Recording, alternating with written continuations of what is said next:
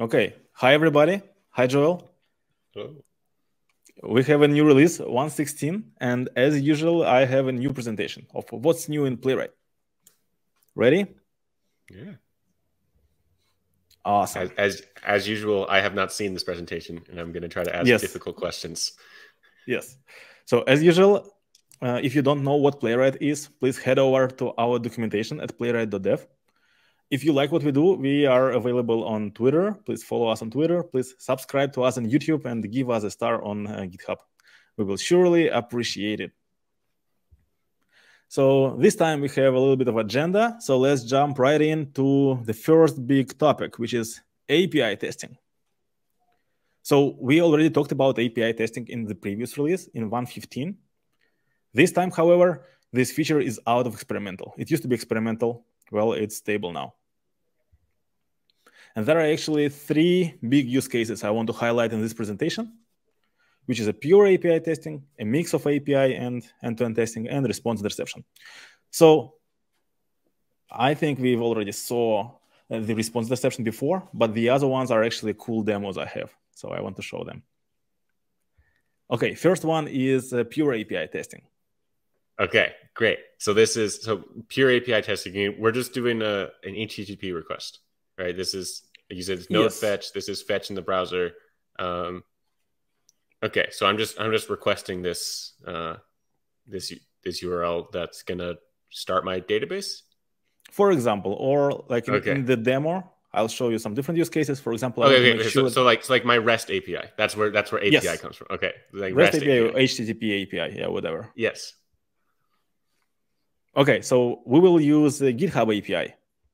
And this will be a file where I will do my tests for GitHub API.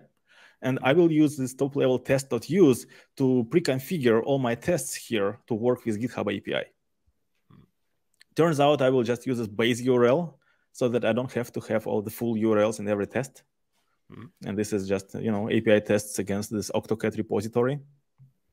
Mhm. And uh, GitHub wants me to put some extra HTTP headers to each of the requests I do, which is this fancy accept header and my authorization token. Mhm. So far, all clear. Yeah. Now comes my test. Now, in this test, I have this magic request fixture, which is a new thing since this release. It's Mhm. built in, and if you use just request, it doesn't launch any browsers because I don't use, you know, page. There is no reason to launch a browser. So it's really fast to start. And with this request, I can just go and issue requests. Like here, for example, I do a post request to this uh, issues endpoint. And since it's a, it's a post request, it will create a new issue with this title and with this body. Oh, so you're you're creating inside your test right now. You're adding new bugs to our to. To uh, someone I was going to say our repo, but yes. it looks like the Octocat repo. Octocat You're, repo, fi- yes. you're filing a bug inside your test report. yes. Okay. Exactly. So so so our users should probably use uh, a test server or something instead of doing this on production. Yes. Yes. This is just for demonstration purposes. Don't do this. Okay. Yes. Yeah, but obviously, I don't think your API token will let you do this. Whatever. So yes. well, but the I mean, important thing for here. GitHub, it won't let you do it. But I'm saying on people's website, right? Like Yes. yes, Yes, that's for sure. yes. Yeah. And uh, yeah, request.post returns your response, and uh, you can you know assert different things on response, things like headers, status code, and stuff that you would expect from a response. Can I get the JSON? Oh yes, you can do everything. You can get everything. Okay. We will see it later in some of the Okay. demos. Okay, so this was just the pure API tests, really easy, super fast, works like a charm. You don't need any more dependencies to do this now. Next one is this uh, mix of API testing and end-to-end tests. And the idea here is that I can actually use API testing API to log in to my uh, websites, for example, or to set up some preconditions. Mhm. So here I have this test. It has this page fixture. So it will launch a browser. It will give me a page from this browser. And the very first thing here I do is I'm using this page.request.post. And Mhm. this issues a request on behalf of the page. This is like a node page, but bound Oh. to the page. So all the cookies are shared. Okay, so so how is this different from me um, doing like page.evaluate and inside that doing a fetch? Oh, so wait, this is actually you can do this as well. okay, I think you can do this. You can do this. Yes, Yes. yes, yes. But Okay. uh, if you have some CORS related things, like if you want to do a Mm. fetch request to different origin, for example, fetch will not will have a CORS blocked for you because it's a browser request. This thing uh, Mm. of- bypasses all the CORS this well, this I, is not I, the case. I, would- for the hacker news. oh well, I would hope that Y Combinator would uh, make it so you can't log in with without with a CORS header, Yeah. right? Because otherwise Probably. people could fetch on other sites or something. Right? Yes. Yes. Yes. Yes. Yes. Yes. Yeah. But actually, we uh, so we have page request and we have context request. Mhm. And yeah, after that, I can just navigate to this page, can navigate to the Hacker News and make Mm-hmm. sure that it's actually me. And the page will be logged in after this. Uh, Oh, you haven't request. even went to you didn't go to Hacker News yet. Yeah, right? yeah, I didn't go to yeah, Hacker yeah, News. right. Otherwise, if I was doing it with Fetch, I would have to go to Hacker News, And First, then- Hacker News, then do evaluate. then which is ugly, and then then fetch, and reload. then re Yes. and then reload. Yes, this yes. we just This- we just log in and we go. Yes, we just log in and we go. Okay. Exactly. Hmm. Awesome. So last demo here is the response interception. And it turns out that you can combine both request interception and API, testing API, to have a response interception. And we actually had this demo already last time. I would just want to stop one more time on it to re to show in details what's going on because we had so many questions about it. So this is just a very simple test it navigates to my homepage, makes sure the navigation succeeded, and I have this unused import of an image processing li- library. I will use it later on. Okay. So what the test does, I, I will set up a request interception here. And now this line is the good stuff, and this is where I want to actually pause a little.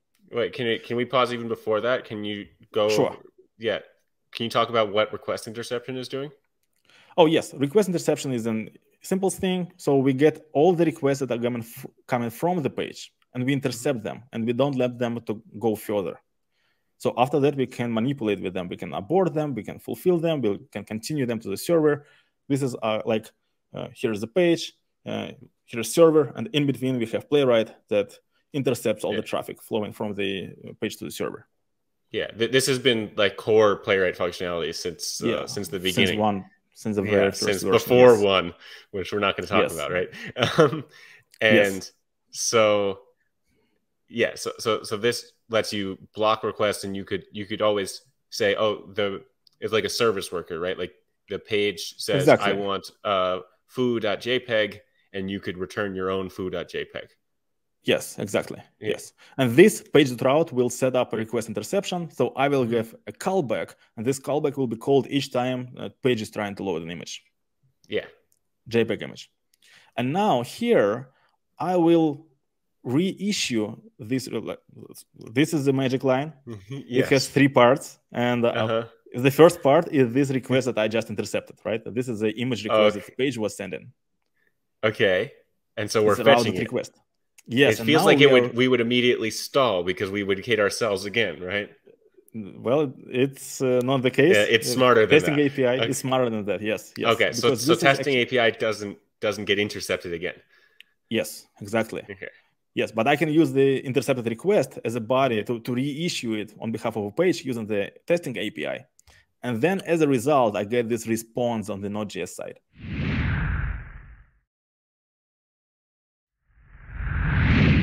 Oh, okay, so this is like the request with all the same cookies, all the same headers, all the same, Yes. you know, accept type, whatever. So we're going to get exactly the image that would have went to the the uh, browser and the to page, the browser. But we we caught it and we're manipulating it in Node right now. Exactly, yeah. And uh, we can actually get the body of this image and we can use this Jimp library to blur it. Okay. And then we can fulfill. And this is actually an important part as well. I Mhm. can use this response from the fetch API, from the testing API request, as a as a you know uh, as a body, not the body, as a general uh, fulfill part, and then I can override the body with my blurred image. Right. So I remember this now from last time. Yes. Yes. Yes. Exactly. Yes. And and are you gonna show the image? Oh yes. Yes. It, Okay. weird as you would expect. Uh, yes. So so the problem with your demo is that uh, the the Jimp library seems so much cooler than the response interception. So you know we're, advertising the wrong thing. But- and- to and cool. also- Well, And I also remember from last time the reason why those other images are not blurred is because their SVG is not JPEGs, right? exactly. Yes. Yes. Yes. Because it's it. Otherwise, people might think that page route only gets like the first image or something, and that's not true. Yeah. it No. gets it, all of them. it gets all of them. Yes. Awesome. So API testing uh, bypasses CORS, like we mentioned already, manages all the cookies if you do requests on behalf of a page or a context, and follows all uh, redirects. Mhm. Awesome.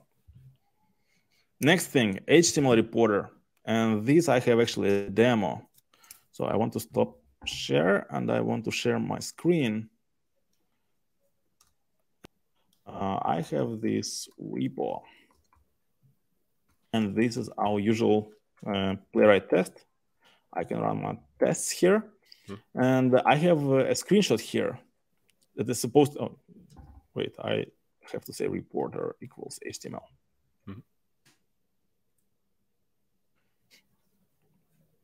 Okay, so now there is a failing test. So HTML reporter got opened right away, and I Mhm. can see that my test is failing. Mhm. As I go in it, I can see that there is a snapshot comparison failed. And I have this image mismatch here. I have this actual, expected, and I can even see the difference. Well, something is different here. Oh, the installation is green instead of uh, white. Yeah, well, some styles are, should be messed up probably. Mm-hmm. And down here, I was actually recording a trace for Mhm. this test run. So now I have this trace attachment here, and I can click it. And as I do so, it opens a trace viewer for me right away, right here in the browser. Oh, just right in the browser. Yeah, yeah, and I have all the good stuff here with all the trace, network requests, and everything. With console events and calls, like Hold, hold on, you're usual- going you're going too fast. Okay, okay, Okay, okay. Go go go back. Let me now that I know what I'm gonna see. Let's go back. So um okay, so go back one more. one more. Okay, One more. Okay, so let me let me try to repeat. You tell me you're so you have this test that's failing. yes, It opened up this nice, beautiful HTML report. yes, Um I click it yes, and then I see the error message and it says that the screenshot did not match the stored screenshot. Exactly. Here it and we can so, yeah. see that all of these steps passed. It says page go to, locator Yeah. click, all these things worked, and it successfully took the screenshot, but it didn't match. And so, what happens if you expand that expect to match snapshot? Oh, it'll say. Oh, it'll just show show you the snippet. Yeah, yeah. So okay, these yeah, and we can go look. Okay, and then it's showing us this is from the the snapshot that failed. This is the Yes. diff, and we can see that the color of that text installation is is different. Yeah, on the diff. Yes. Yeah. Okay, and and I can click these things. I can download those. Uh, yeah, you can actual- download them. Yeah. Yeah, or yeah. So if you just click that, oh, you can just right. You, you I can see it. comment click that. It's so a it's a web browser, right? We can Yes, yes. it's a web browser. Okay, and then you're saying if I still don't know what's going on, if it's still having trouble, I can click this trace. Yes, Okay, exactly. and this also shows me the steps before, right? These are the same steps I saw before that had little green check marks next to them. Yep. Yep. right? But now we have screenshots of what's on page. Oh, and we have a yeah, We have a so- screencast here. yeah, We have a screenshot. And we can see where we clicked. There's a red dot Yeah. here. and you can see the network. Requ- okay, I'm I'm sold. Yeah, awesome. I need to stop sharing now. Mhm. Okay, so this was the HTML reporter. And we have one last thing to talk about, which is this was the demo. And finally, locator wait for. And locator wait for is just a sugar for page wait for selector. Not a sugar, but the same thing basically. Mhm. So, say for example, you want to navigate a certain website. And you want to make sure that it loads before taking a screenshot. Uh, before 116, I had to use wait page.wait for selector But now you can do the same thing with locators, and everyone loves locators. Locators are awesome for your page object models and everything. So now you can just have a locator and say locator, wait for state visible. And there are the same states as in wait for selector. You can wait for a state to be attached, detached, visible, or hidden. And, hidden is uh, lowercase, right? Yes, hidden is lowercase. This is my autocomplete. yes. And uh, if you don't pass any arguments, it defaults to state visible. Cool. So yeah, this is the thing. Mm-hmm. That's it. Uh, so in this release, we have new API testing that's out of experimental. Please use it. It's awesome. We have an HTML reporter and we have locator wait for. So this cool. is for today. When, Thank you, Joel. When's the next one? Uh, in a month. One month, one release. In, in a month. In a month. Okay. Yeah. Probably, right? Probably a month. Probably a month. Yes. Even less, maybe. Okay. Adios. Thank you. Right.